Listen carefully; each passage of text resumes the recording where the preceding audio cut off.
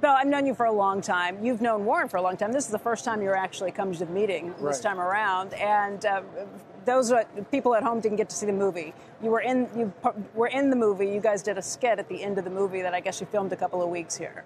Um, I want to get into all of your thoughts on the meeting today, why you're here. But before we do, I'd just like to jump in. You've been in the headlines recently because of a movie you've been working on, Being Mortal. Production was shut down, and this is the first time you're talking. I just wonder what happened.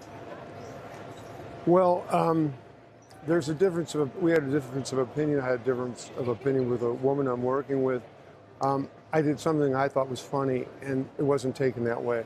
Uh, um, the company, the movie studio, wanted to do the right thing, so they wanted to check it all out, investigate it, and and so they stopped the production. But um, as of now, we're talking and we're trying to make peace with each other. I think that's where the real issue is, is between our peace. Um, we're both professionals. We like each other's work. I, we like each other, I think. And um, if we can't really get along and trust each other, there's no point in going further working together or, or, or making a movie as well.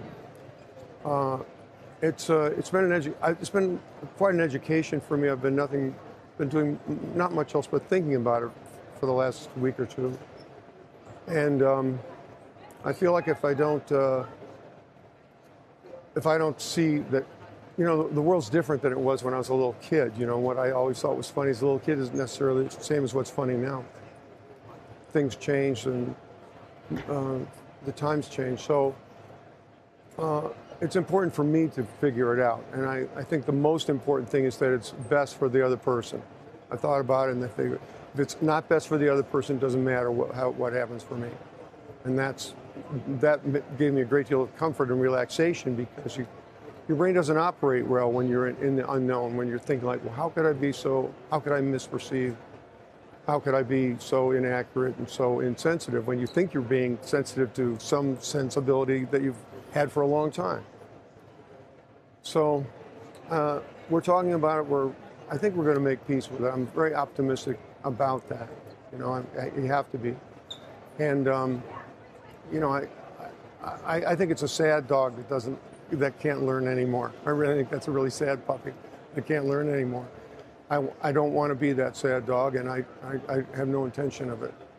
Um, I, what would make me the happiest would be to, you know, put my boots on and, and for both of us to go back into work and, and, and be able to trust each other and, and work at the work that we've both spent a lot of time developing the, the, the skill of and, and, and hopefully do something that's good for more than just the two of us, but for a whole crew of people, whole crew of movie makers and, and uh, the movie studio as well. So you're you're talking it through right now. You're talking it through with her. You're talking it through with the studio. With, Uh, well, not with the studio, just with her and, and people that are helping her. So that's um, that's first things first. yeah, that's that's good to hear. Um, you said you were reflecting on some of the things that you heard today in the meeting, and I take it it's in relation to some of these things too. I couldn't I could not connect it. I could not not connect it. I mean, I see these two brilliant fellas who are most proud in a way of their mistakes. You know, they get, and it's always been that way in my life too, that I've, you learn so much more from your mistakes than from your successes. And they, they say like, oh, everybody's doing the good things, but the, the hard things and the wrong things are where you really learn something. And uh, you know, I was lucky to be with a bunch of other actors who were ahead of me in the pipeline, sort of, and I saw all the mistakes they made, and that helped me a great deal.